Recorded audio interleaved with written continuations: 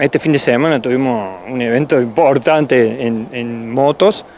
y es una constante desde hace mucho tiempo ya, que llegando tipo 4 de la madrugada por ahí, ya sea tanto viernes como sábado, o sea, sábado madrugada y domingo la madrugada, empieza el trajinar de las motos y las explosiones constantes de los sonidos que tienen, y es una que van y vienen, o sea, no son cuatro o cinco, una cantidad importante de motos que que perturba mucho, la verdad, la paz social y llega a un punto que a uno lo agota